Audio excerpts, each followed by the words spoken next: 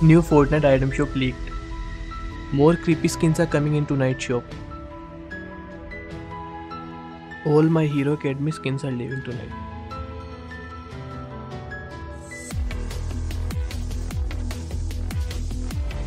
These old creepy skins are leaving tonight. And these signature style skins are also removed.